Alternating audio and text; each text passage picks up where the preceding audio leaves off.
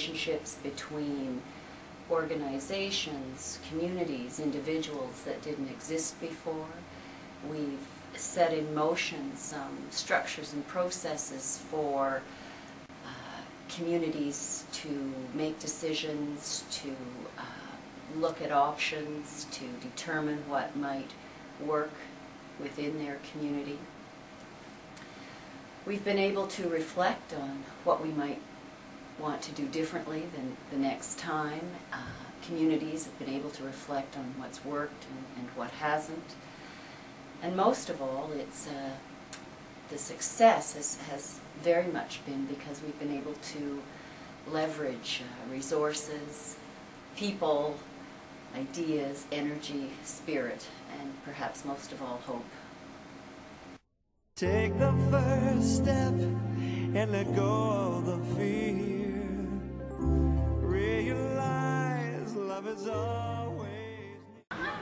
I've been with No Communities Left Behind for the past year and I've seen a transition within the Ledbury Banff community from where there's no communication or trust between the community or the residents of that community with the police to where we're at now where we're approached, uh, given information, asked for advice, asked for uh, assistance with uh, family problems. We're regularly invited to community events and when we're not at these community events we're uh, asked for reasons for our lack of attendance. So this is a, a, very strong cooperation where trust has been reestablished and uh, cooperation between uh, the community and the police is very strong. I'm very happy to have taken part in this initiative. Been part of the No Communities Left Behind project for a year now where we've had the unique opportunity to involve both the outreach aspect of community policing as well as the enforcement.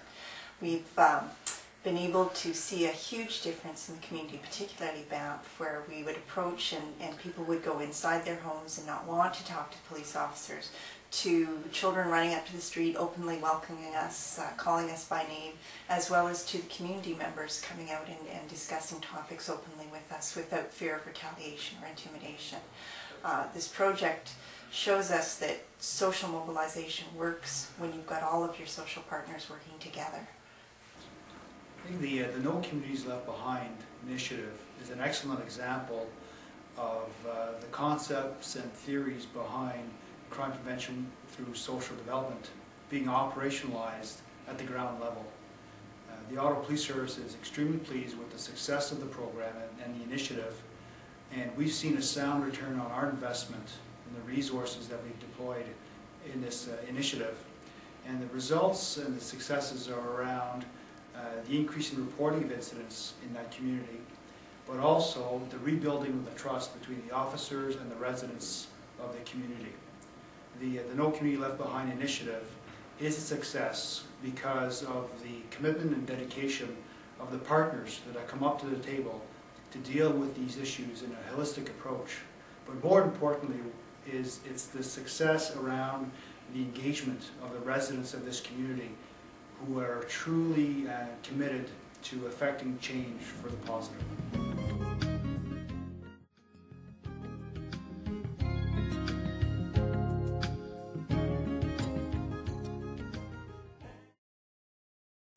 Hi, my name is Maria McRae, and I'm the City Councilor representing River Ward.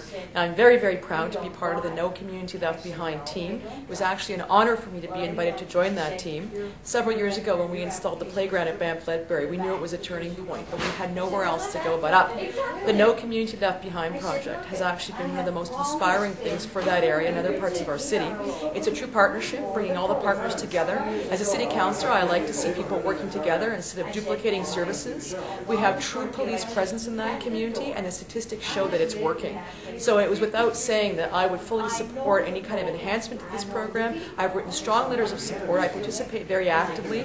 We recently did a audit of the site at Banff Ledbury to look how we can make things safer. People as far away from Toronto at Hydro when I participated. So when you look at the true participative value of this program, it's outstanding. It's a role model for other things we should do in the city, and I think it's something that can easily be replicated across the province. I can tell you that being a rookie member of City Council that nothing to this extent happened in my whole entire term of office.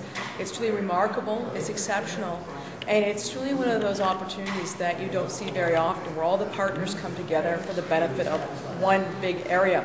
It's very valuable to do that. It saves obvious money and resources because we're not stretching ourselves too thin, we're not duplicating services.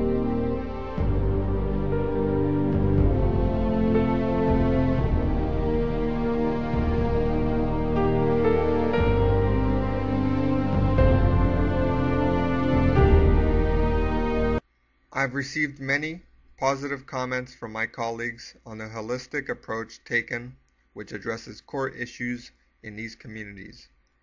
This is a model on how we should be doing business. Simple as that. I would like to say that the positive outcomes of the initiative that we have undertaken speak volumes of its effectiveness. Right from the beginning, the intention was not to reinvent the wheel. In 2004, when I was doing research and going through various models of crime prevention through social development from around the world, my focus was to come up with something workable. Uh, you can see the success of what we have put together as a result from the fact that the phases and components that we identified two years ago remain exactly the same.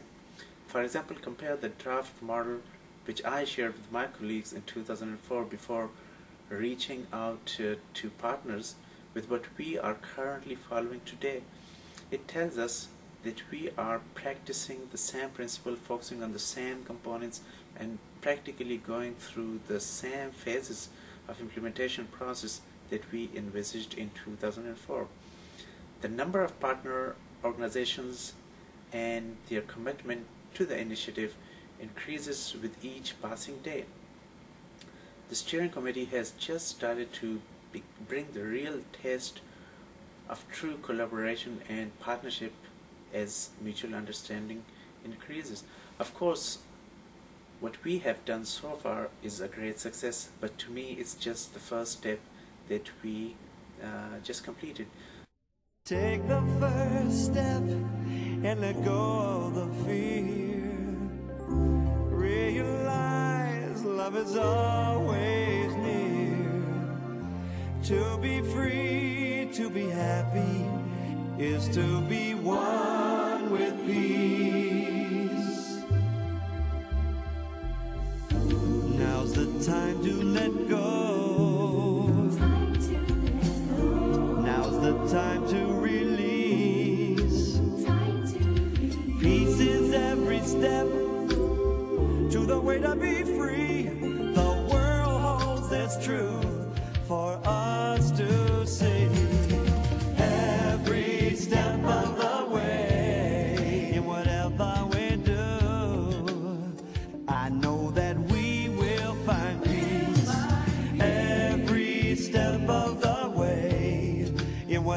we say, I know that we.